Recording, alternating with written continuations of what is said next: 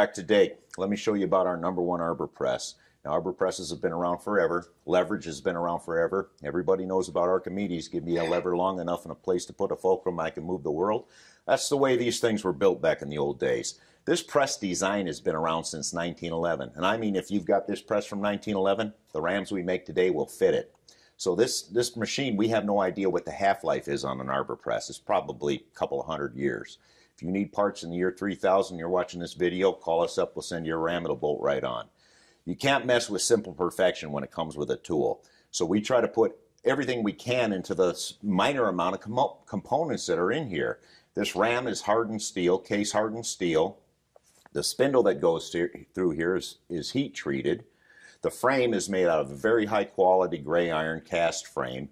And one of the important things we do when we start machining our frames, we chuck them up one time on our CNC center and everything is faced off without moving this press from job to job. So everything is square from this plate to the groove that's machined down through here, through the bolt holes, to the horizontal hole through here. Heck, we even face the bottom of the frame off, so if you put this up on a table, it's not wobbling around on you. So that's uh, another thing you're going to notice on our presses is we have this heavy spine going down the back of the frame. And that essentially creates an I-beam type of structure in here, and we all know how strong an I-beam is. This is our one-ton version of the arbor press. Very simple, single, single leverage machine, a 36 to 1 gear ratio in here. So when you're thinking about an arbor press, you're thinking about any tool. You can't be left without a good machine that's going to be dependable for you. This is heavy, this is simple, this is dependable. You're looking for something like that in a machine. You're looking for something like that in a son-in-law. I hope you find you're lucky in both regards. Think of Dake when you're thinking about a machine. For a son-in-law, you're all on your own with that one.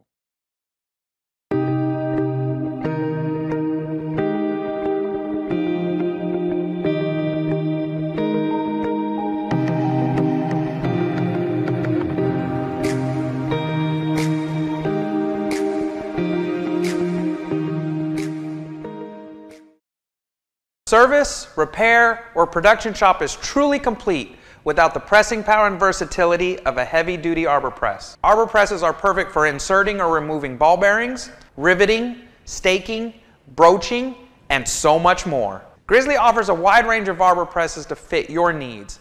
From our half-ton T27033 arbor press, which is an ideal choice for smaller riveting tasks, to our T26413 one-ton press, T26414 two-ton press, and our T26415 three-ton press, which are perfect for removing pesky ball bearings for a fresh take on life for your tools. When you need some added muscle and precision to solve your pressing needs, look no further than the T27665 5-ton arbor press.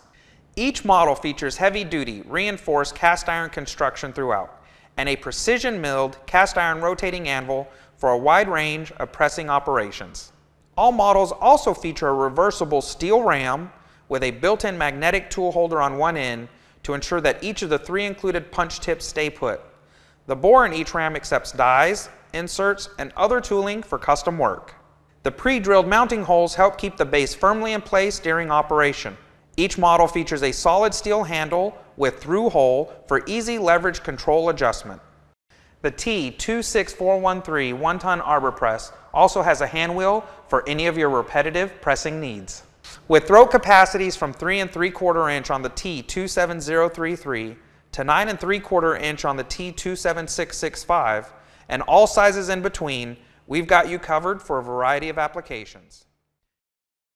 Welcome to Dake again. Let me tell you a little bit about our 1.5B arbor press. Actually, in our 1.5 series, we have four different models the one and a half, the one and a half B, the one and a half C, and a one and three quarter. Why we call it one and three quarters beyond me. But let me get into this a little bit because they're all identical as far as the drive system and tonnage. One and a half B is a three ton machine. As you can see, it's a ratchet, ratchet lever machine. And as the name implies, you know, it ratchets itself down with every stroke like that. It also has this hand wheel here to adjust or retract the ram. Also has a spring operated brake in here so when you take your hands off of this the ram's not going to go anywhere. This wheel down here of course you can see is for repairing motors or pushing bushings or bearings. You have the feel of the amount of pressure on this lever to determine if you've set your bushings or your bearings just perfectly. All right, this thing's got a 48 to 1 gear ratio in it. This base here is an option. Let's take a look at our one and three quarter if you're if you're interested in a machine of this size. The one and a half C has got a very deep throat, meaning, as you see from this one, this one's got seven inches from the back of the ram to the neck of the casting. You can do a 14 inch diameter wheel in this if you were pushing a bushing or a bearing into a wheel. One and a half C has got 17 inches of throat. So you can do like a 35 inch diameter wheel in the one and a half C. The head configuration, all the gear drives and everything up here are identical on each unit. It's just the frame sizes and the frame configuration that makes them different between the different model numbers. Now, everybody that works on our phones is familiar with this. They all started working out in the shop. So if you want to call 1 800 937 3253, if you're interested in Arbor Press, the people that answer the phone, very knowledgeable, if, and they can sort of size up what you're doing for your particular job in that regard. If they don't know the answer, they always know somebody out in the shop that does, or they know one of our customers that's using it for a specific purpose, and we have a deep enough customer base. Thank you all for your assistance with us on this, and we're just going to help each other get through.